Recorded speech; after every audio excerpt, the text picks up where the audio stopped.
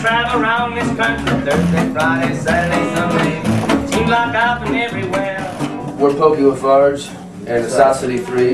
Yeah, I've been so many places. Would always wish. And we had an IMA nominated for Best Album and Best Song written by me and Adam Hoskins. It's called Claude Jones. Story, yeah, that you have never heard. They turn me down. The, Independent Music Awards, of course, like what we do, which is the same reason why we play music, we put the records out there too, I guess, also, not the only reason, of course, but, um, you know, we, we wanted to, uh, you know, we, we want to win, we want to, we want to kill, you know, uh, yeah, we, we, we thought they'd like it. You know that you mean the world to We just re- recorded a seven-inch record with Jack White down in Nashville, so we're gonna come out on Third Man Records. It's a seven-inch vinyl. Jack heard us on the radio down in Nashville and called, called me up.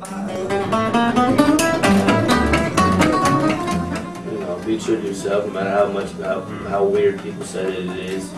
Um, but I would say, instead of being true to yourself, be true to the genre that you're doing. Don't butcher the genre that you're doing. Don't don't make a mockery of, of, of American music. Good, true, one of the last pure things we have in America. Our music, don't ruin it.